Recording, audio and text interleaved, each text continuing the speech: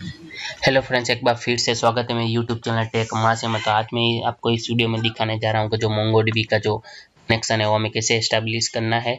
जो robo three software में और बाय डिफ़ॉल्ट जो सी एम डी में हम जैसे करते हैं, जैसे क्वेरीफायर हमें कैसे करनी है। तो चलिए, बिना किसी टाइम वेस्ट के वीडियोज़ को शुरू करते हैं।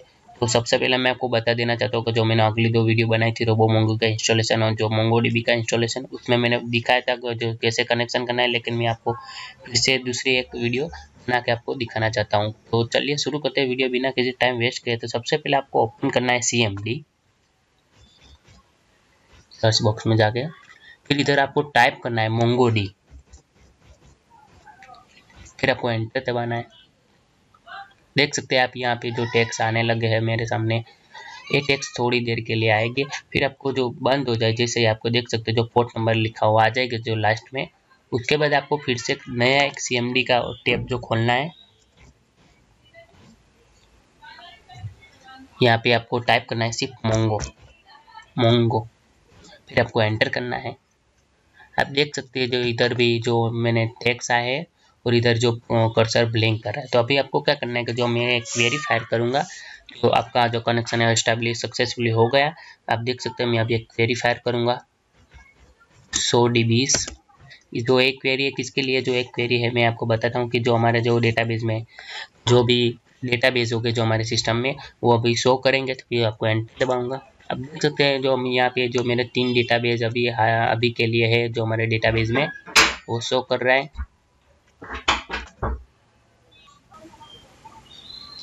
अब देख सकते हैं जो मेरा जो कनेक्शन जो अपना डेटा भी जो शो कर रहा है इधर।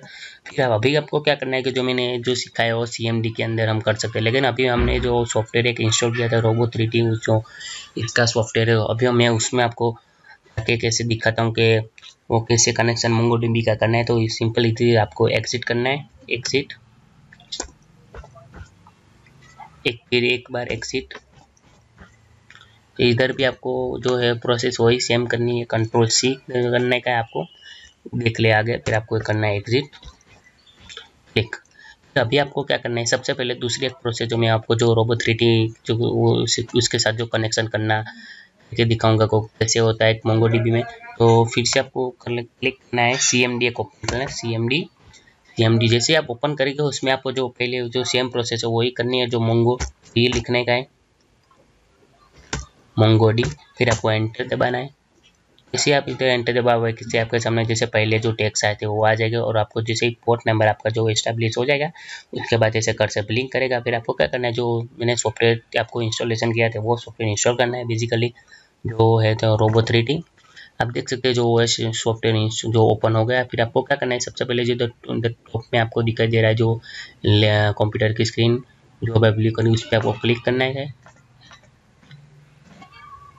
देख सकते इधर आपको जैसे आपका जब आपके सामने ऐसा एक जो आ जाएगा, फिर आपको क्या करने का क्रिएट कनेक्शन फिर आपको जो इधर दिखाई दे रहे, जो न्यू कनेक्शन आपको इधर को नेम दे देना है, कोई भी कनेक्शन कर मैं दे दे टेक मास है। देख सकते हैं मैंने टेक मास से दे दिया है। जो उधर जो बाकी सब इधर बाई डिफ़ॉल्ट है, वो ऐसे ही रहने देने का फिर आपको मैं एक दूसरी एक बात बताना चाहता हूँ कि जो पे टेस्ट का जो बटन दिया, वो आपको क्लिक करने का इससे क्या होगा, मैं आपको बताता हूँ कि जो भी हमारा कनेक्शन हो सक्सेसफुली होगा कि नहीं होगा अगर कोई भी एरर है तो यहाँ पे हम वो शो कर देंगे। फिर आपको इधर क्लोज करने का है, फिर आपको क्या करने का है? इधर सिंपली सेव का जो बटन दिया है, उस पर क्लिक करने का है।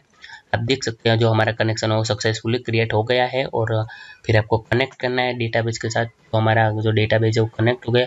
फिर अभी आपको क्या करना है, अगर मुझे इसमें कोई भी क्वेरी फायर करनी है तो इधर आपको इस पर आके राइट क्लिक करना है। अभी इधर करना है ओपन सेल जैसे ओपन शेयर करके वैसे ही आपके सामने जैसे एम डी जो कुछ लिखना है, वो आ जाएगा। फिर आपको इधर टाइप करना है जो सो डी मैंने जो अगले में जो क्वेरी फायर की थी। इसका मतलब मैंने आपको जो बताया था कि जो हमारे डेटाबेस में जो भी डेटाबेस हो गए वो सब इधर शो करेंगे। आपको इधर जो रन करना है तो जो जो ग्रीन बटन है, उस पर आपको क्लिक करने का है। और उसका जो शॉर्टकट है एफ़ कंट्रोल एफ़ फाइव वो भी दबा हम क्लिक कर सकते हैं। आप देख सकते हैं इधर जो मेरे डेटाबेस का जो नाम है, वो आ गया है, जो उसका जो नेम है। आपको जब ये, अगर इस टेक्स्ट को टेक्स्ट को बड़ा करना है तो आपको क्या करना है? तो कंट्रोल और प्लस का सिंबल है, जो क्लिक करना है। वैसे हम यहाँ भी हम कर सकते हैं। अगर मान लीजिए आपको कोई दूसरा ही एक ही टेप में इसमें को करना है तो आपको न्यू न्यू सेल आपको क्रिएट करना है तो उधर आपके जो डी के जो टैब है, उसको आपको राइट क्लिक करके न्यू सेल भी आप क्लिक कर सकते आप देख सकते इधर आ गया है। अगर आपको, मान लीजिए आपका काम जो कुछ पूरा हो गया, अगर आपको इस डेटाबेस के कनेक्शन को क्लोज करना है तो आपको इधर ठीक वहाँ से भी फिर से आके इस कनेक्शन को राइट क्लिक करके आपको डिसकनेक्ट करना है। फिर से आपका जो कनेक्शन है वो डिसकनेक्ट हो जाएगा। फिर हमारा जो वो टेप ओपन जो हमारा जो एक कनेक्शन ओपन था, उसको भी हम क्लोज कर सकते हैं। इधर आपको कंट्रोल सी करने का है। फिर से आप कंट्रोल सी करेंगे, फिर आपके सामने जो इसे टेक्स आ जाएगा, फिर आपको क्या करना है? एक सीट का टाइप करना है। फिर आपको एंटर फिर से मेरा कनेक्शन है जो क्लोज हो गया है। अभी क्या करने का जो मेरा सिंपली अगर आपको इस वीडियो में कुछ भी समझ में नहीं आया तो प्लीज़ मुझे कमेंट बॉक्स में लिखिए अगर आपको ये वीडियो अच्छा लगे तो please like share and subscribe my YouTube channel एक माँ से। Thank you